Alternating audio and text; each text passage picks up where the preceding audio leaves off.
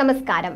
മലയാളികൾക്കേറെ പ്രിയങ്കരനായ നടനാണ് ജഗദീഷ്. അദ്ദേഹത്തിന്റെ പഴയകാല ചിത്രങ്ങളിലെ കോമഡികൾ വർഷങ്ങൾക്കിപ്പുറവും പ്രേക്ഷകരെ കുടുകുടാ ചിരിപ്പിക്കാറുണ്ട് അഭിനയത്തിന് പുറമെ തിരക്കഥ കഥ സംവിധാനം തുടങ്ങി സിനിമയുടെ വിവിധ മേഖലകളിൽ കഴിവ് തെളിയിച്ചിട്ടുണ്ട് ജഗദീഷ്. ഓഫ് സ്ക്രീനിൽ നല്ലൊരു അധ്യാപകൻ കൂടിയാണ് ജഗദീഷ് അവതാരകൻ എന്ന നിലയിലും ശ്രദ്ധ നേടിയിട്ടുള്ള ജഗദീഷ് രാഷ്ട്രീയത്തിലും ഒരു കൈ നോക്കിയിട്ടുണ്ട് കോമഡിയാണ് ജഗദീഷിനെ താരമാക്കുന്നതെങ്കിലും നായകനായും വില്ലനായും ഒക്കെ കയ്യടി നേടിയിട്ടുണ്ട് ജഗദീഷ് ഇപ്പോൾ നീണ്ട നാളത്തെ ഇടവേളയ്ക്ക് ശേഷം വീണ്ടും സിനിമകളിൽ സജീവമാകാനുള്ള തയ്യാറെടുപ്പിലാണ് നടൻ. വില്ലൻ വേഷം ചെയ്യണമെന്ന് ആഗ്രഹിച്ചിരുന്നുവെന്ന് ജഗദീഷ് മുൻപ് ചില അഭിമുഖങ്ങളിൽ പറഞ്ഞിട്ടുണ്ട്. എന്നാൽ അപ്രതീക്ഷിതമായി തനിക്ക് ലഭിച്ച ഒരു വില്ലൻ വേഷത്തെക്കുറിച്ചും അത് ചെയ്യാൻ തനിക്കുണ്ടായ വിമുഖതയെക്കുറിച്ചും അദ്ദേഹം ഇപ്പോൾ തുറന്ന് പറഞ്ഞിരിക്കുകയാണ്. ആ വേഷം ചെയ്യാൻ ഭാര്യ രമയും മക്കളും തന്ന പിന്തുണയെക്കുറിച്ചും അദ്ദേഹം വാചാലനായി. പുതിയ ചിത്രമായ ഫാമിലിയുടെ പ്രമോഷന്റെ ഭാഗമായി നൽകിയ അഭിമുഖത്തിൽ സംസാരിക്കുകയായിരുന്നു ജഗദീഷ്. ലീല സിനിമയിലെ കഥാപാത്രം എനിക്ക് ചിന്തിക്കാൻ പറ്റുന്ന ഒന്നല്ല. സ്വന്തം മകളോട് അപമര്യാദയായി പെരുമാറുന്ന അച്ഛന്റെ കഥാപാത്രം എന്നെ സംബന്ധിച്ച് വലിയൊരു ചലഞ്ചായിരുന്നു. അത്രത്തോളം ആത്മസംഘർഷവും ഉണ്ടായിരുന്നു. അത് എങ്ങനെ ചെയ്യും? സിനിമയിൽ എന്നെ പോലെ ഒരു ആക്ടർ അത് ചെയ്യുമ്പോൾ എന്താകുമെന്ന കൺഫ്യൂഷനും ഉണ്ടായിരുന്നു. ഞാൻ രമയോടും കുട്ടികളോടുമാണ് ഇത് ആദ്യം പറഞ്ഞത്. അവർ ധൈര്യമായി ചെയ്തോളൂ എന്ന് പറഞ്ഞു. അതൊരു കഥാപാത്രമല്ലേ? മാത്രമല്ല നമ്മുടെ സമൂഹത്തിൽ അങ്ങനെയുള്ള അച്ഛന്മാരും ഉണ്ട് അതിനെ ആ രീതിയിൽ എടുത്ത് ചെയ്താൽ മതിയെന്ന് രമ പറഞ്ഞു.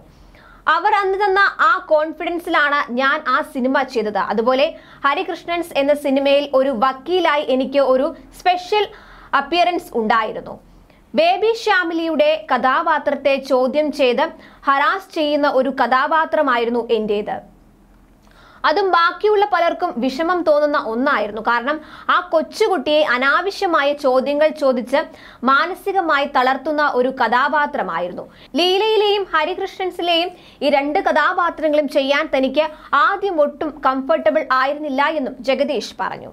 കഴിഞ്ഞ വർഷമാണ് ജഗദീഷിന്റെ ഭാര്യ ഡോക്ടർ പി രമ അന്തരിച്ചത്. അറുപത്തിയൊന്നാം വയസ്സിലാണ് മരണം. കേരളത്തിലെ അറിയപ്പെടുന്ന ഫോറൻസിക് സർജനായിരുന്നു രമ. ഭാര്യയുടെ വിയോഗത്തിന്റെ വേദനയിൽ നിന്നും പതിയെയാണ് നടൻ മുക്തനായത് പലപ്പോഴും തന്റെ ഭാര്യയെക്കുറിച്ച് വാചാലനാകാറുണ്ട് ജഗദീഷ്.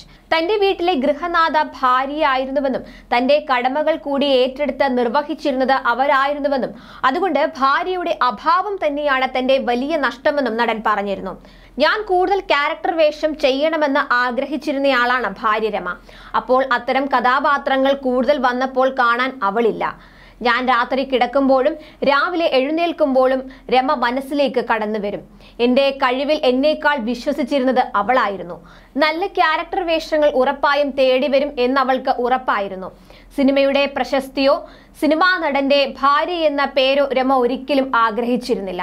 മക്കളുടെ കല്യാണത്തിന് അതിഥികൾ വരുമ്പോൾ ഞാൻ രാഷ്ട്രീയക്കാരെയും സിനിമക്കാരെയും സ്വീകരിക്കാൻ നിൽക്കുമ്പോൾ രമ അവളുടെ ജോലിയുമായി ബന്ധപ്പെട്ട സ്റ്റാഫിനെയും പഴയ കൂട്ടുകാരെയും സ്വീകരിക്കാനാണ് മുന്നിൽ നിന്നത്. തനിക്ക് പിടിപെട്ട രോഗാവസ്ഥയെക്കുറിച്ച് ഡോക്ടർ എന്ന നിലയിൽ രമയ്ക്ക് നല്ല ബോധ്യമുണ്ടായിരുന്നു. എന്നാൽ ഒരിക്കൽ മാത്രമേ രമയുടെ കണ്ണ് നിറഞ്ഞ് ഞാൻ കണ്ടിട്ടുള്ളൂ എന്നും അദ്ദേഹം കണ്ണീരോടെ പറയുന്നു. എന്റെ ഭാര്യ എന്ന നിലയിലല്ല അവൾ അറിയപ്പെട്ടിരുന്നത്. മരിച്ചപ്പോൾ വാർത്ത വന്നത് ജഗദീഷിന്റെ ഭാര്യ മരിച്ചുവെന്നല്ല.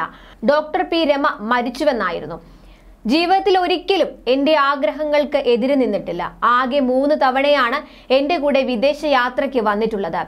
ഫംഗ്ഷനുകൾക്കൊന്നും വരാറുണ്ടായിരുന്നില്ല വിളിക്കുമ്പോൾ ഞാൻ ഇല്ലെന്ന് പറയും ഒരു വിദ്യാർത്ഥിയെ പോലെയാണ് പിറ്റേ ദിവസത്തെ ക്ലാസ്സിനായി രമ തയ്യാറായിരുന്നത് എന്നും അദ്ദേഹം പറഞ്ഞിരുന്നു കൂടുതൽ സിനിമാ വിശേഷങ്ങൾക്കും വാർത്തകൾക്കും ഒക്കെയായി ഈ ചാനൽ സബ്സ്ക്രൈബ് ചെയ്യുക You are watching You are watching You're watching me on and you're watching me on, on metromatney.com. on metromatney.com. metromatney.com. Metromatney.com. Subscribe for more videos. subscribe for more videos. Subscribe here for more videos. Subscribe now. Thank you.